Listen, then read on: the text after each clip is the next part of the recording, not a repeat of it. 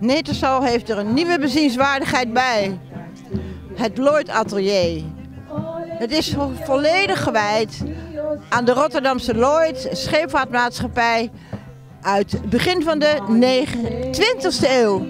De, de samenwerking met Indonesië, we hadden toen nog Nederlands-Indië, uh, is daar een heel, heeft een hele belangrijke rol gespeeld. Vandaar dat we nu vandaag officiële opening in de Indische sfeer doen. Ayun, ayun, jangan main gila. Ayun, ayun, ayun, in die hoge klapperboom. Ayun, ayun, jangan main gila. In feite heb ik het Lloyd Atelier in drie perioden ingedeeld. Namelijk voor de Tweede Wereldoorlog, tijdens de Tweede Wereldoorlog en daarna.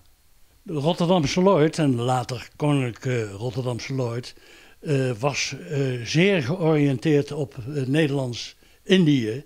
Een beroemde scheepvaartmaatschappij waarvan je eigenlijk kan zeggen, die heeft de periode, de VOC-periode van vroeger voortgezet, maar op een goede manier ervoor gezorgd dat wij het uh, een van de belangrijkste landen in de wereld bleven.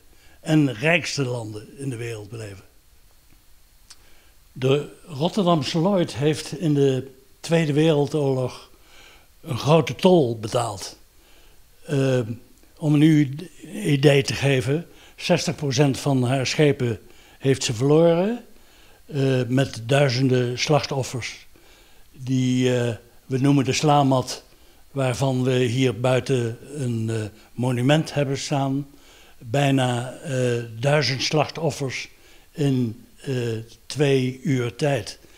En de Tweede Wereldoorlog en elke oorlog is in feite een aaneenreiging van kleine incidenten die soms heel erg veel doden opleveren en andere waar men wat meer geluk heeft. Ik loop met u nu eh, mee naar het Lloyd-affiche om u te laten zien dat de afscheiding tussen de vooroorlogse periode, de oorlogsperiode en de naoorlogsperiode hier in dit affiche uh, te zien is. Uh, de oorzaak van alles is de roemruchte Willem Ruis.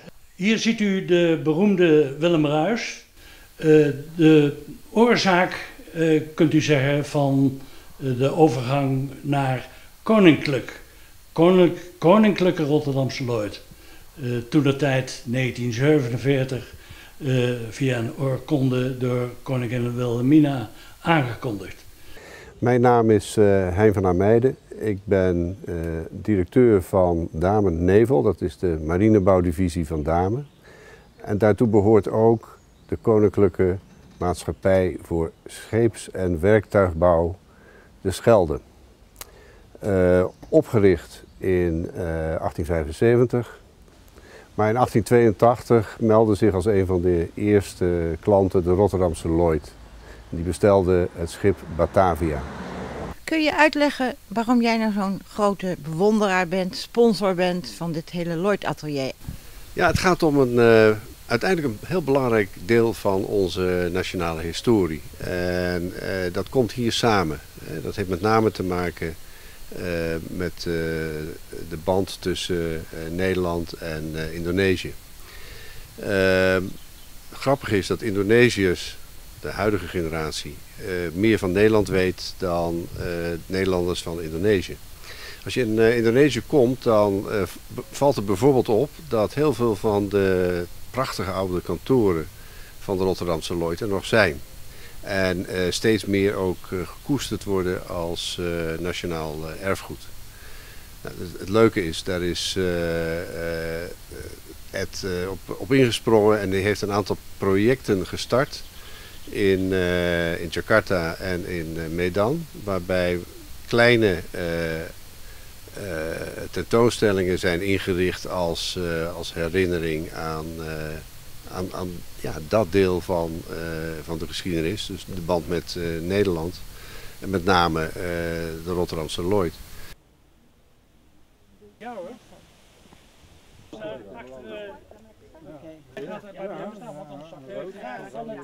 Nog even stilstaan bij uh, het leed dat uh, ook onze oud-collega's uh, in de Tweede Wereldoorlog hebben moeten ervaren.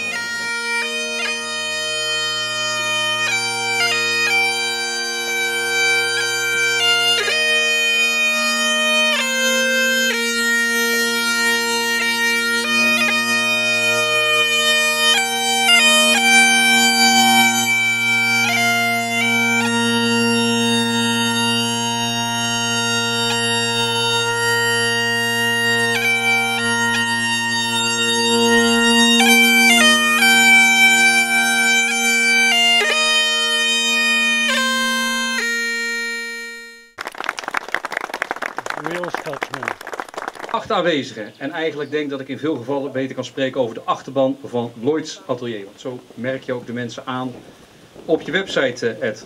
Dank voor de introductie. En volgens mij ben je een grote drijvende kracht achter dit project. En het is leuk met u allen hier op deze plek in Netelsel te zijn. 30 meter boven Nieuw-Amsterdam-Pel. En dat zo'n mooi stukje maritieme geschiedenis hier te vinden is. En maritiem en Rotterdam en ik denk dat sommige mensen denken dat ik er niks mee heb, maar dat valt eigenlijk wel mee. Al stoomt er geen zout water door mijn aderen, maar ik neem u toch even mee. Ik ben absoluut in het waterbeheer. En ik heb heel lang gewerkt voor het ministerie van Verkeer en Waterstaat. En ben diverse malen ingeleend door de scheepvaartinspectie te Rotterdam. En ik heb ook gewoond, gewoond in Rotterdam. En regelmatig liep ik naar mijn werk bij Rijkswaterstaat langs het Netloid gebouw aan de boompjes. Dus ik heb al enigszins iets met de geschiedenis die hier wordt weergegeven. Dus als je, als je het hier doorknipt, dan, dan zou het moeten werken.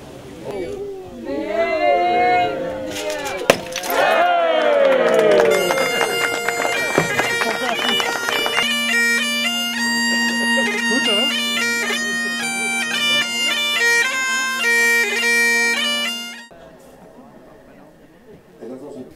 Is dit een aanwinst voor Bladel, Netelsel, misschien nog wel meer campen? Nou, het is zeker een aanwinst. Op cultureel gebied mogen we best nog meer dingen hebben. En daar zit een heel leuke toevoeging voor. En de collectie is heel mooi. Het is mooi gepresenteerd. Het is overzichtelijk. En het staat op een verrassende locatie. Ja, dat kun je natuurlijk wel zeggen. Want Brabant en zeevaart is nou niet zo. Maar waarom zou het toch hier interessant zijn? Nou kijk, het staat 30 meter boven NAP, dus het is ver weg van de zee. Maar de eigenaar hiervan, Ed van Lieden, dus zo'n uh, bevlogen persoon die weet deze collectie heel mooi aan de man te brengen. Dat gaat goed. Ad van der Brug, uh, uit Den Bosch, moet ik erbij zeggen. Hij is uh, op de Willem Ruis, het roemruchte schip van de Rotterdamse Lloyd, steward geweest. En nu komt hij hier, hier helpen met de catering en dergelijke en de bediening. Wat deed je daar precies? Op de Willem Ruis stond ik in de eerste klasse eetsalon. En uh, nou ja, alle, de kapiteinstafel is de belangrijkste tafel op de Willemruis. Dus dat was allemaal ook met de witte handschoentjes aan. Uh, ja, serveren en zo, ook uh, trancheren en fileren aan tafel. Dus was heel interessant. Daarbij had iedereen die in de eerste klas eetsalon stond een, een bijbaan. De ene had linnenmastiek.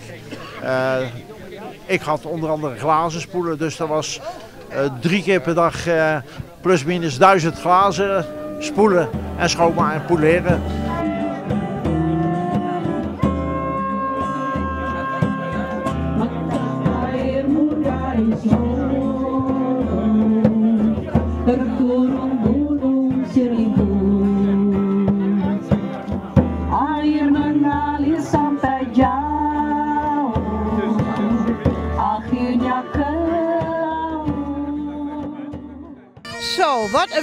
Was dit.